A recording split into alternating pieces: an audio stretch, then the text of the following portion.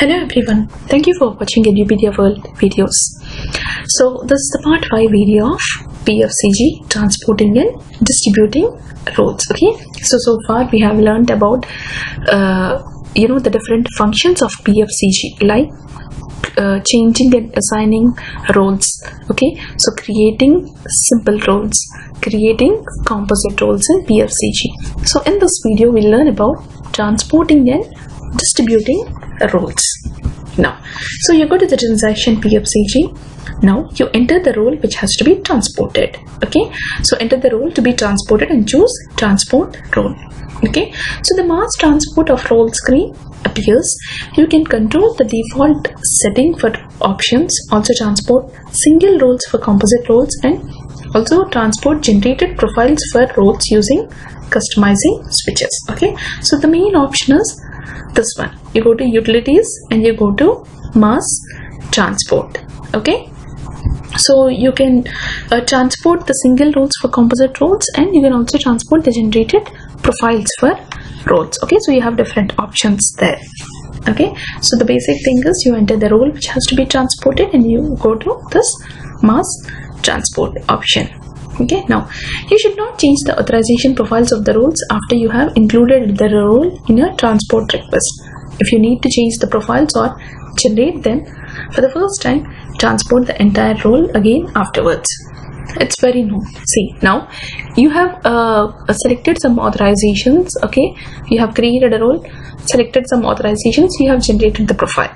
Now you are ready to transport that role now if, if you change the authorizations and you know if you generate a new profile then you have to transport the role again okay? Just that that has to be very important. So even the role name is same you have changed the authorizations a new profile is created the role name is same but still the objects in the role are changed. So you have to transport that role again. So this you have to keep in mind. So sometimes what happens so generally the roles are created in the development box and they are moved to production. Nobody does all this pfcg activity in the production boxes. They do the security team they do it in the development box okay?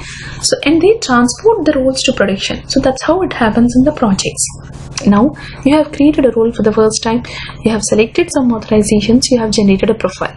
Now you want to transport it the production and you have transported it. Now what happened? After few months certain authorizations have been updated or deleted in that role and a new profile was generated.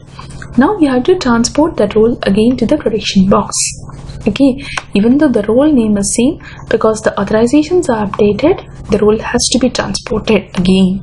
Okay so similarly when you do uh, when you use a central user administration the roles are generally you know all the maintenance happen, happens in the central system and it's transported and distributed to the child systems. Okay so there also it's very important that always when roles are updated with you know new authorizations new profile is created you have to re transport the role again to all to all the systems which you have transported earlier. Okay so please keep that in mind. Now in the following dialog box, you specify whether the user assignment and the personalization data should also be transported. Okay, so you have an option like it's it's not only the profile which okay, so it's not only the authorizations which you transport. You have an option to transport the user menus and the users which are assigned to the role also. Now if the user assignments are also transported they will replace the entire user assignment of roles in the target system. To lock a system so that the user assignment of roles cannot be imported enter it in the customizing table prgn and underscore cust using the transaction sm30 add the line user rel import and the value no. Okay now this is very very critical. Okay?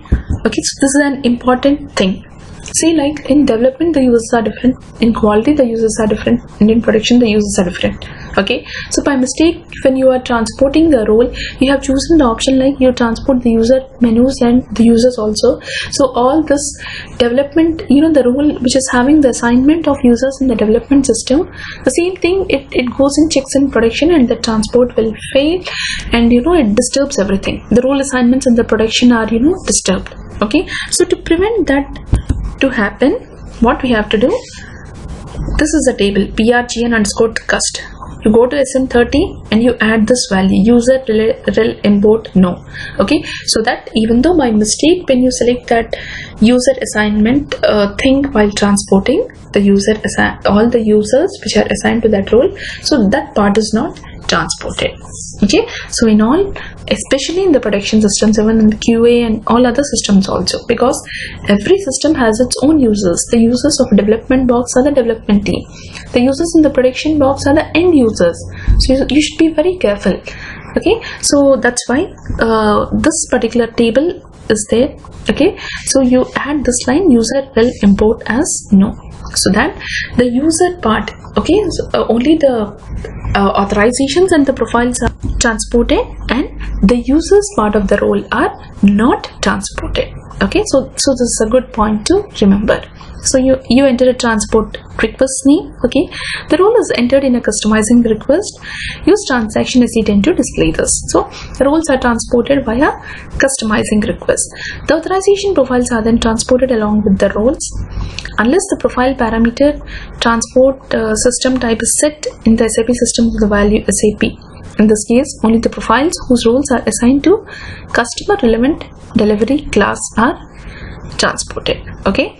So here what happens is uh, this is a customizing request. So the profiles are also transported along with the roles until okay? This this value uh, uh, the profile parameter transport system type is set okay? In this sap system to the value sap okay so in this case only the profiles whose roles are assigned to customer relevant delivery class are transported. Okay so generally what happens is roles along with the profiles are transported. You need not worry about this what I have whatever I have described here. Make sure that the roles along with the profiles are transported. Okay so unless this particular parameter is set to SAP this profile parameter transport system type is set to SAP okay so uh, this is how it happens. You can check in SE then okay? So you have the request. Again it has a task also. So you perform a user master comparison and a target system. Now because the new role with the new profiles is reflecting you have to do a user master comparison in the target system because there the users are different. So then you adjust all the users to pick up these new authorizations okay? So uh, so in this video we have learned about transporting and distributing roles okay? So you go to pfcg you enter the role which has to be transported and you go to this mass transport option. Okay? Now first thing is like every time when you change the authorizations in the role and you generate a new profile and make sure that's also very important. Every time you do any authorizational changes in the role you have to generate a new profile. Okay? So uh, okay? So when you do that you have to retransport the role again to the target systems okay that is the first point.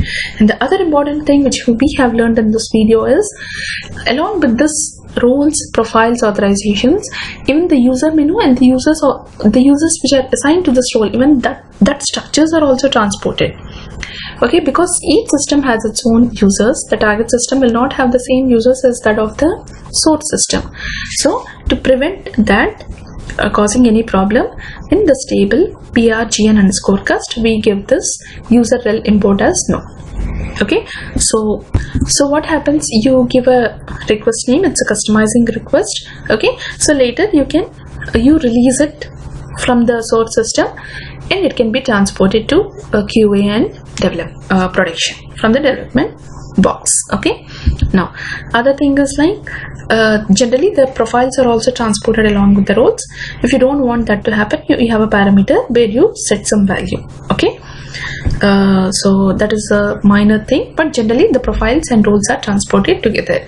The roles are developed in the development box and they are transported across the landscape development to qa qa to production okay?